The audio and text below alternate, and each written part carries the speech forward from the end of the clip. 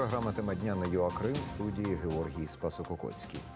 Понад тисяча військовослужбовців з'єднання берегової оборони Чорноморського флоту Росії беруть участь у навчаннях з вогневої підготовки і тактики ведення бою на полігонах у окупованому Криму.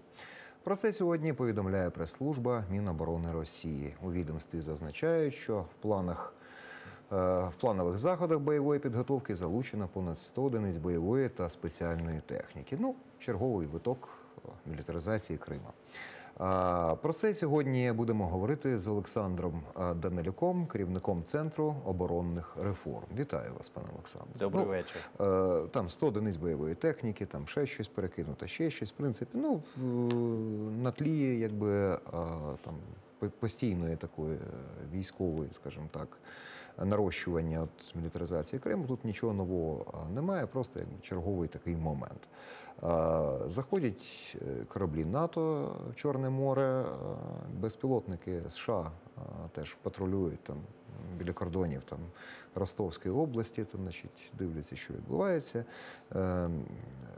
Про що це може свідчити? Да? Ну, е, Україна в міжнародних організаціях заявляла протести неодноразово про щодо мілітаризації Криму. Росія там намагається ставитись до Криму як до е, непотопляємого авіаносця. Е, Ну, тим не менш, історія свідчить про те, що в принципі, якби під час будь-яких там серйозних воєн Крим здавали. Вот, в тому числі і Севастополь, город слави русських моряків. То до чого ж е, всі ці військові маневри? Ну, власне, я думаю, що е, поведінка е, Російської Федерації на півострові вона не є е, унікальною, тому що ми бачимо схильність керівництва Російської Федерації до великомасштабних маневрів в останні декілька років, особливо після анексії Криму. І це стосується як е, навчань е, Восток 2017, так і навчань е, Запад 2018. І значною мірою треба говорити про що? Про те, що Російська Федерація, попри те, що звичайно досі це одна із великих держав. Ми, ми не можемо е, безумовно Ну, ядерних держав, цим, цим в першу нехтувати. чергу, в першу напевно, чергу да. через наявність ядерної І це не Північна Корея, в якої там чи є бомба, чи нема, чи, Чи нема, да. ну, тобто чи у ну, Російської Федерації ядерна зброя є. Ми Да. нам достеменно це відомо, але водночас е, спроби е, гратися м'язами в е, конвенційному сенсі да, дуже часто виглядає достатньо сумнівно. Да. І навіть якщо ми говоримо про е, Чорне море, е, там, де е, Очевидно, да, Україна програє Російській Федерації е, в сенсі е, потужностей, можливостей, е, спроможностей військово-морських сил. Е, Треба е, чітко пояснити нашим глядачам про те, що Російська Федерація не є головною силою в Чорному морі. І Російська Федерація не лише програє е, країнам НАТО, а навіть програє єдиній країні НАТО, яка є е, домінуючою в Чорному морі, це Туреччині. Так? Тобто, це те, що е, насправді мало обговорюється, але водночас треба чітко розуміти, е, що Туреччина і її військово-морські сили суттєво більш в військовому сенсі спроможні, аніж військово-морські сили Чорноморського флоту Російської Федерації. Тому, е, власне, е, будь-які маневри як на території Криму, так і на території е, традиційних територій Російської Федерації, вони жодним чином не впливають на реальний баланс сил. Ну важко сказати. Дивіться, коли Росія анексувала Крим, одним з таких обґрунтувань там для свого електорату, можливо, і вони самі в це вірили. Е, Те, що якщо не анексувати Крим, то в Криму з'являться бази НАТО, і е, флоти НАТО з'являться в Чорному морі, наприклад, да, якийсь там страшний сон. Да. да, от Ну не зрозуміло, в принципі, для чого, а чи є сенс там флотам НАТО, крім Туреччини, там і там Болгарії, Румунії, скажімо, там перебувати в Чорному морі, наскільки це стратегічно необхідно при сучасних технологіях. Ну, тим не менш, да? е, кораблі НАТО, от військовий корабель Нідерландів. Е, може очолити одну з постійно діючих груп НАТО, який має зайти в Чорне море. Ну давайте Про це будемо. заявив е, голова місії України е, при НАТО Вадим Пристайко. Цікаво, він ще це все прокоментував. Що ну я не бачу якби причин, щоб це могло, щоб НАТО могло спровокувати в такий, такий спосіб Росію. Е, Але е, водночас е, НАТО ухвалило таку символічну цифру 30 е, у відповідь на дії Росії агресивні, там намагання їх там відродження цим імперських, так сказати, амбіцій. Е, е, Значить, 4 по 30 буде. 30 батальйонних груп, 30 кораблів, 30 авіаескадрилій мають бути готові протягом 30 днів дати відпір е, Росії, сказав Вадим Пристайко. Тобто, е, те, ну, НАТО насправді е, до 2014 року, да, може і після там, не те, що прямо там планували якісь там всі акваторії, якісь там дії там нарощувати, там, ну, ракети ПРО максимум. І взагалі скорочували своє фінансування країни-члени НАТО. Ну, при всьому скороченні фінансування країн-членів НАТО, ще раз хочу сказати, що якщо ми не беремо до уваги ядерну зброю, говоримо про конвенційне озброєння. е, Російська Федерація в цьому сенсі е, в Чорному е, в Чорному морі особливо е, хизуватися немає чим. Чому? Тому що, до прикладу, знову ж таки, порівнюючи спроможності да, там Чорноморського флоту Російської Федерації і військово-морських сил Туреччини, до прикладу. Да? Тобто, якщо ми говоримо про навіть ракетні крейсери, ми говоримо про те, що Росія має таких два.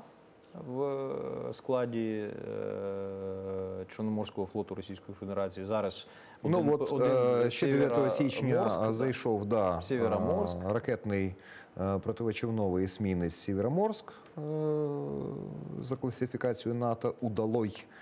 Е, І ну, це, до речі, е, корабель, який там, там бере участь в сирійських операціях і так далі. Ну він багато де бере участь, але ми Ну, повинні розуміти, принаймні, що е. Росія має можливість розмістити в е, Чорному морі. Ну і має два подібних корабля, але знову ж таки подібних. Е, Зараз ми маємо Ну, третій. ракетний крейсер Тобто, Москва, фактично- якби ну там говорити про нього, це дуже А ми не говоримо Такий, про крейсер. да, ми ми флагман. говоримо просто про те, що це флагман Чорноморського, Чорноморського флоту. флоту да, Росії, і да. його Ну. історія знову ж таки для нас зрозуміла. Ну, це вже більше Е, історія, Да, не да, будемо згадувати да. про те, що свого часу це було. Е, Питання розподілу Чорноморського флоту між Україною і Росією, але знову ж таки говоримо про співвідношення сил і спроможностей е, Росії і Туреччини в Чорному морі. Якщо ми говоримо про наявність навіть трьох подібних кораблів е, в Чорному морі, Росія легко може розмістити вісім кораблів такого класу, значно більш сучасних. З е, бойовою міцю, яка е, суттєво 1 до 5 перевищує е, спроможності російських кораблів. І це визнають насправді і російські експерти. Тому, по суті, будь-які розмови про військове домінування Росії в Чорному морі, вони насправді радше є хибними, ніж такими, що базуються на реальних фактах. Ну Чорного моря, то вихід тільки в Азовське море. От, е, А, і в Середземне, та але тоді ми повинні говорити про протоки. Ми повинні говорити Ну, про Босфор і поки, а, ці Дарданели, кораблі- які контролюються Туреччиною. Поки ці кораблі за умов там відносно миру які пересуваються вільно, то за умов війни це просто ну під час Другої світової війни для радянського флоту це було фіаско. Причому що німецький флот особливо активно в Чорному морі і не діяв, в основному авіації. Юрій, я вам хочу сказати відверто. На мою думку, е, російська е, військова е, міць на сьогоднішній день вона тримається винятково на тому, що ніхто з потенційних опонентів не готовий військово відповідати Російській Федерації, попри те, що очевидно сили опонентів суттєво вищі. І це не лише через те, що Росія має ядерну зброю. Насамперед, е, це пов'язано з тим, що е, особливо за останні 30 років, після закінчення холодної війни, філософія і психологія військовослужбовців країн НАТО, навіть е, таких країн, як Туреччина, суттєво змінилась. Ну в якому сенсі? Тобто вони не спрямовані на війну, а як Вони не спрямовані на використання військових е, засобів як засобів досягнення політичних цілей. Водночас е, хочу сказати, що і Російська Федерація очевидно не е, розраховує на використання цих засобів для досягнення е, цілей. Тому військові е, е, засоби для Росії є засобами радше. Операцій впливу, та? тобто показати, що Росія готова, тобто Росія лякає, е, достеменно розуміючи, що країни НАТО не готові до відкритого конфлікту. Тобто Росія лякає е, навіть такі країни, як Сполучені Штати, а тим більше інші країни НАТО, тим, що вона готова розв'язати е, військовий конфлікт. Ну просто одне діло, а чому терплять Північну Корею, бо за нею стоїть Китай, а з Росією то Китай не стоїть. І ну, який конфлікт може розв'язати Росія? Там гахнуть по комусь ядерним ударом, по Проблема- країнам НАТО. Ну, Ну, дивіться, це, це, сумнівна це, така це історія. е, питання вразливостей західних демократій. Тобто для Російської Федерації будь-який, е, будь-яка криза, в тому числі військова, несе значно менше е, внутрішньополітичних загроз, ніж для будь-якої західної країни. Тому що ми прекрасно розуміємо, що в демократіях е, суспільство здатне відреагувати і вплинути на уряд. В Російській Федерації цього немає. Звичайно, цього немає і в Північній Ну, в принципі, і в а коли це цього було, немає. да. Так. І е, говорячи про е, е, загрози, які е, Росія. Скажімо, вигадує певною мірою, вони ж є публічними. Так? Тобто ми говоримо про те, що навіть цей е, Сєвєроморськ, е, насправді, е, значною мірою це медійна операція. Тобто вони відправили судно, яке було побудоване в 83-му році. Як ви правильно зазначили, це протичовновий корабель. Тобто, в першу чергу, його завдання боротися з підводними човнами. Не так багато їх є в Чорному морі. Ну, І це відповідь і на вони що? Це переважно відповідь- турецькі на, насправді, не переважно, а всі. Да. Е, Турецькі і Якось я е, на одному побував, і- збудований компанією Siemens. да. Абсолютно, Може так. нести тамагавки. Да. Це було. Е, І хочу зазначити, що е, якщо порівнювати знову ж таки з аналогічними турецькими е, кораблями, які могли би зайти в Чорне море без жодних проблем, тому що на них не поширюються обмеження, так тому що Туреччина, на відміну від Великобританії і Сполучених Штатів, є е, власне країною е, Чорного моря. Ну Тобто і країною, яка отримає отримує протоку. Утримує протоку і має всі абсолютно права на те, щоб розміщувати весь свій флот, флот в Чорному морі. Тобто, виходячи з цього, ми прекрасно розуміємо, що в Росії немає шансів, особливо сьогодні, коли Туреччина будує третю військову морську базу в Чорному морі. Причому буквально в е, кількох сотнях миль від міста Героя Сочі. Тобто, ми розуміємо, що попри заяви е, про дружбу між Туреччиною і Ну, Туреччині це не заважає збивати російські літаки, наприклад, військові. Е, І Росія відповіла забороною на ввезення турецьких помідорів, ну потім її я хочу зазначити, що ця третя база, третя база, яка будується на сьогоднішній день Туреччиною в Чорному морі, е, планувалася ще за часів холодної війни, не була побудована. Для розуміння до цього в е, у Туреччини було всього дві військово-морських бази на території. Південного берегу Чорного моря, тобто це збільшення в півтора рази кількості. Е, Причому для розуміння е, е, наших телеглядачів персонал цієї бази це 600 чоловік. Для військово-морських сил це величезна кількість. Вони мають контролювати е, східну частину Чорного моря. Що це означає? Це від Керчі і вниз. Там є лише одна країна, яка, власне, це Грузія, яка значною мірою е, має бути вдячна втручанню Туреччини в конфлікт з Російською Федерацією 2008 року. Тому що ми пам'ятаємо, як себе повів флот е, власне Туреччини в 2008 році. І як же? Давайте нагадаємо. Ну, ми прекрасно пам'ятаємо, що коли Російська Федерація планувала організувати морську блокаду, е, Ну, вони затопили навіть е, кілька суден кілька суден, да. да. е, Туреччина вирішила провести навчання. І в Російської Федерації е, зненацька зникло бажання продовжувати, так би мовити, наступ з моря. Ну, як цікаво. А, ну, от е, там британський корабель з Чорного моря вийшов, який приходив з дружнім візитом в Україну. Там Але це був розвідувальник. розвідувальний. Да. Заходить там американський десантний, заходить е, Десантний, корабель але водночас да, ми говоримо Да. про що? Про те, що Ну, це не американський означає, що десантний корабель, на десант, е, борту якого знаходиться 20 морських піхотинців. Да. Вся ця 20. істерика Російської Федерації щодо того, що це Да. е, якесь вторгнення. Там, 20 далі. морських піхотинців. Да, тобто це Сирена. говорить про те, що Російська Федерація е, дуже турбується щодо 20 морських Ну, просто е, питання та в іншому, а можливо, дійсно не варто турбуватись. І ну, оця присутність е, кораблів НАТО, вони і раніше заходили, і до 2014 року, і щорічні там навчання Sea Breeze, там і ще там низка.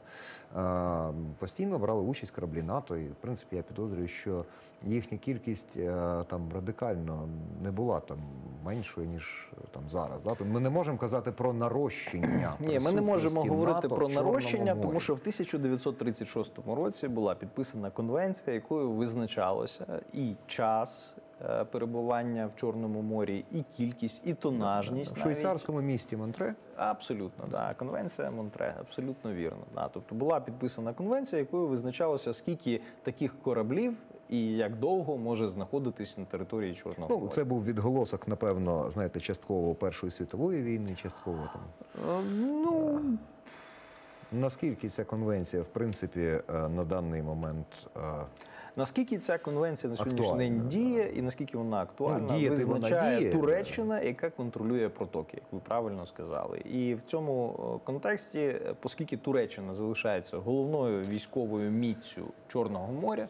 Очевидно, у Російської Федерації не так багато можливостей впливати на неї. І ще раз хочу сказати, що е, розуміючи це, ми бачимо, Російська Федерація не шукає конфліктів з Туреччиною в Чорному морі. Тобто значно простіше вигадувати собі противників у вигляді, особливо американських е, десантних кораблів е, і 20 морпіхів на, на, на борті. Ніж е, реально стикатися з е, турками, які мають можливість адекватно відповісти. Ну, цей же час е, хочу е, звернути вашу так. увагу на те, що під е, е, прикриттям от цього загострення в Чорному морі, яке безумовно для України може мати негативні наслідки, е, керівництво Російської Федерації здає. е, е, Курильські острови Японії, так тобто це ну от, і єдина власне, людина в Росії, яка ходить протестувати е, в Москві, це е, Гіркін Стрілков з одиночними пікетами. Ну що ж, е, показово, звичайно. Ну, власне, Ну, острів Доманський, за який був конфлікт з Китаєм свого часу, теж просто віддали без всяких подарували. У нас багато територій. Давайте Китаю подаруємо. Не будемо. Перегорнемо цю сторінку. Я думаю, що А, е, насправді це питання в іншому. А чому для чого здавати Курильські острови? Вони принципові ну, для Японії, тому що це їх острови. Але що отримає Путін навзаєм від Японії? Тут я вже дивлюсь, там зраду пишуть всяку, що там е, ледь е, коли режим впаде, то може Путіна там в Японії якось пригріють. Ну, Я не думаю, що Путіна абсурду, пригріють звичайно. десь в Японії, Тим не менш. але водночас я, Ну, я, я можу сказати, що будь-яка експансія перед розвалом вона дуже характерна для Російської імперії. Згадаємо е, вторгнення до Афганістану. Тобто, насправді е, сьогодні здається, Ну, що хтось оцінює, що афганська кампанія зламала хребта радянському союзу. А може, це не зовсім так. Ну, причинно-наслідковий зв'язок. Може, це дійсно якийсь там останній з таких. Слухайте, ну насправді вибриків це, це, це не питання навіть е, е, того, чи могла афганська кампанія зламати хребта е, радянському союзу. Ну, Очевидно, що економічно ні. навряд чи да. Очевидно, що ні, але водночас Там вона відволікла увагу. Вона відволікла увагу від тих кризових процесів, які були неминучими в зв'язку з е, ситуацією на ринку вуглеводнів. Ну, Тобто хоча взагалі історія падала, Радянського. Союзу це суцільна криза, по-моєму. Ну, тут, тут радше я хотів би провести паралелі між е, вторгненням в Афганістан і піднесенням патріотичним на певний час, коли е, багато насправді е, українців, навіть да, які на той Да, момент були громадянами Радянського. Союзу, писали заяви про те, що прошу відправити мене в Афганістан, готовий воювати. Незрозуміло заради чого. Е, Знову ж таки, чому? Тому що це було покоління, яке було виховане на е, радянській е, ідеологемі Другої світової війни, тобто на образі радянського солдата. Тобто кожен хотів долучитися до цього радянського солдату. Цього вистачило на десь 5-6 років. Потім почалась перебудова. Багато хто вважає, що це відокремлені процеси. Як на мене, це процеси глибоко пов'язані між собою. Тобто, ми маємо 5 років україно-російської війни, тобто приблизно зараз ми маємо 84 рік. Що це означає? Це означає, що Росія безумовно буде здавати свої території, е, прикриваючись якимись е, окремими геополітичними перемогами. Ну, нас та власне цікавить, здаючи одні території, е, чи не буде вона активізовувати бойові дії там на Донбасі, там в районі там Криму, пробувати якийсь сухопутний коридор е, до там Придністров'я, наприклад, і так далі. Тому що ну Куріли це від нас далеко, насправді. На превеликий жаль для України, е, ми повинні усвідомлювати, що сьогодні вся увага е, громадян Російської Федерації прикута до України. Так само, як е, вона була прикута в Радянському Союзі до Афганістану. Тобто це означає, що для того, щоб здати Курили, здати далекий схід, здати інші території, треба вигадувати якісь перемоги. Такою перемогою було захоплення трьох суден, двох кораблів одного е, Буксиру. буксиру а, в Керченській протоці. Тобто, очевидно, що такі речі можуть вигадуватися і створюватися для того, щоб відволікати просто громадян Російської Федерації від реального стану речей. Ну і повертаючись не те, щоб до Курил, ну до, до далекого сходу. е, От е, колись теж такий тріумфальний був похід адмірала Кузнєцова. Е, Да, ну який перетворився звичайно певним чином на фарс. Втратили п'ять літаків, е, там ще щось поламалось, задимів всю Європу. Екологи е, були просто невтішні. Ну став на ремонт.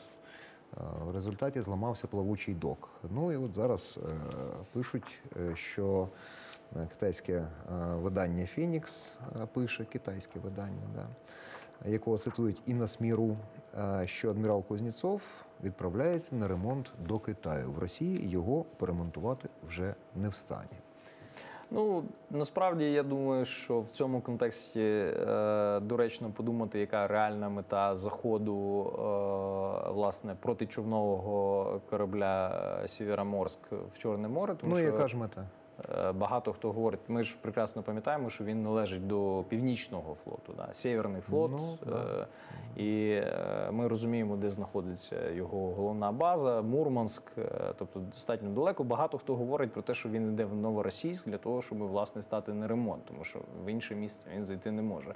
Тому насправді це навіть не те, щоби якась реакція на появу британського корабля розвідувача або на появу американського десантного корабля. Тобто, радше це просто необхідність з Середземного моря е, по найближчій, так би мовити, траєкторії, Траєкторії. довести е, цей корабель. Ну, якщо Новоросійськ. все закінчиться Але ви знаєте, що то це звичайно не найближче. Да, траєкторія. Дуже цікаво те, що е, цей корабель до 96-го року називався Сімферополь. І, і те, що його пере- перейменували в е, власне Сєвєроморськ, свідчить про що? Про те, що на той момент Російська Федерація не мала жодних претензій до українського Криму. Ну що ж, е, будемо спостерігати за розвитком подій. Е, Будемо сподіватися, що вони будуть скоріше комічними, ніж драматичними. На цьому дякую. Я прощаюся. Щоб знати більше, підписуйтесь на нашу сторінку Я Крим Фейсбук. Всього доброго.